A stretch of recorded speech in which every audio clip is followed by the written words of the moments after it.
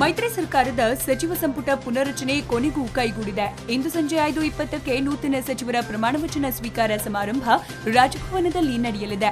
ನೂತನ ಸಚಿವರಾಗಿ CS Shivalli, MTB Nagaraj, Tukaram, MB Patil ಹಾಗೂ ಸತೀಶ್ ಜಾರಕಿಹೊಳಿ ಸೇರಿದಂತೆ ಒಟ್ಟು ಎಂಟು ಜನ ಶಾಸಕರು ಪ್ರಮಾಣವಚನ ಸ್ವೀಕಾರ ಮಾಡಲಿದ್ದಾರೆ.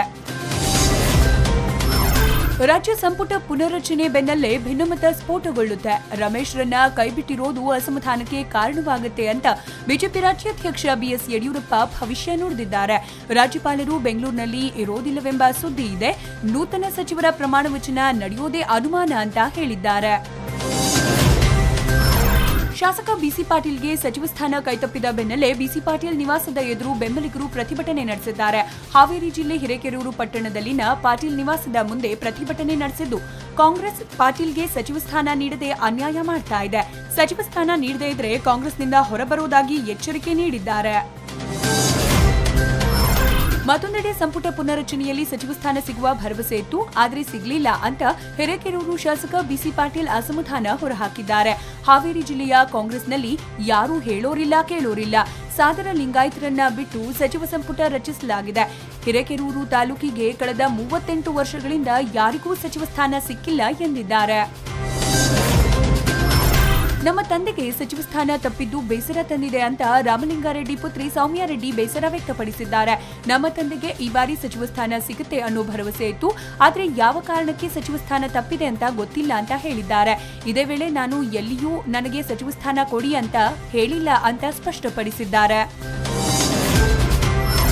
ಸಚಿವ ಸಂಪುಟದಿಂದ ರಮೇಶ್ ಜಾರಕಿಹೊಳಿಗೆ ಕೋಕ್ ನೀಡಿದ ಹಿನ್ನೆಲೆ ಸಂಪುಟದಿಂದ ಕೈಬಿಟ್ಟಿರೋದು ನನಗೆ ಪ್ಲಸ್ಸೂ ಅಲ್ಲ, ಮೈನಸ್ಸೂ ಅಲ್ಲ ಅಂತ ಸಚಿವ ರಮೇಶ್ ಜಾರಕಿಹೊಳಿ ಪ್ರತಿಕ್ರಿಯೆ ನೀಡಿದ್ದಾರೆ. ಮೈತ್ರಿ ಸರ್ಕಾರದ ಸಂಪುಟ ಪುನರ್ರಚನೆಯನ್ನ ಸ್ವಾಗತಿಸುತ್ತೇನೆ ಹೈಕಮಾಂಡ್ ತೀರ್ಮಾನಕ್ಕೆ ಎಲ್ಲರೂ ತಲೆಬಾಗಲೇಬೇಕು.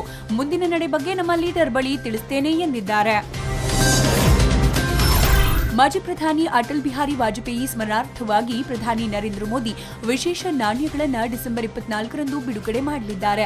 ಮೂವತ್ತೈದು ಗ್ರಾಂ ತೂಕದ ನೂರು ರೂಪಾಯಿ ಮೌಲ್ಯವುಳ್ಳ ಈ ನಾಣ್ಯದಲ್ಲಿ ವಾಜಪೇಯಿ ಭಾವಚಿತ್ರವಿದ್ದು, ದೇವನಾಗರಿ ಲಿಪಿಯಲ್ಲಿ ಅವರ ಹೆಸರಿರುತ್ತದೆ ಅಂತ ಕೇಂದ್ರ ಸರ್ಕಾರದ ಮೂಲಗಳು ತಿಳಿಸಿವೆ. ಡಿಸೆಂಬರ್ನ ಕೊರೆಯುವ ಚಳಿಗೆ ದೆಹಲಿಯಲ್ಲಿ ಅದೆಷ್ಟೋ ಬೀದಿನಾಯಿಗಳು ಬಲಿಯಾಗ್ತಾ ಇವೆ.